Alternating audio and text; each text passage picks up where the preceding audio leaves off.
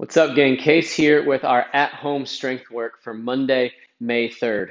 Three rounds today, 16 alternating dumbbell press, so two more than what we did last week. Our goal is to keep the same weight that we used last week, and we're bumping it up two reps per set this week. After that, we've got 12 bicep curls, and then finishing up with a new movement this week eight bent knee plate lowering.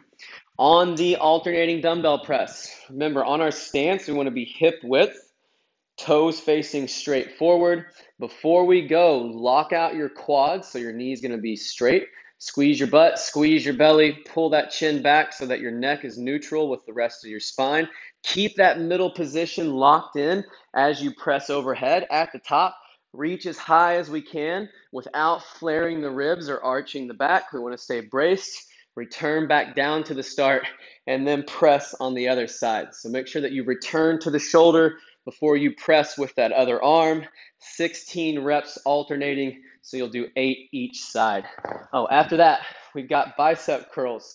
Hip width stance again. We do want to be locked down through the middle so that our torso doesn't move. We're going to go palms forward on these. Pull up to top, squeeze for a moment at the top.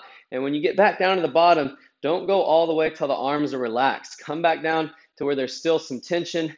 Back up to the top and squeeze. Down to the bottom, back up to the top and squeeze. On both the curls and your alternating press, pick a load that when you get to that last rep, you'll have still a couple reps left in the tank. So we're not going to total burnout this week.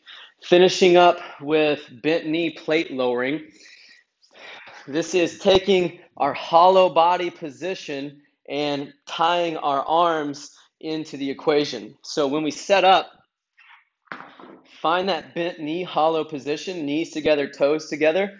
Our head's going to be on the ground for this movement. So you really have to think about pulling that waistband up towards your nose. Lock that position in.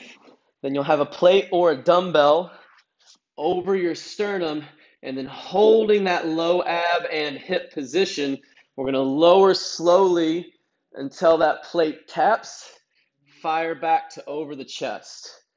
So don't let that back arch out as we raise down, keeping that belly tight. Your hips should actually be up off the ground just a little bit throughout this movement. Slow and controlled on those, eight reps.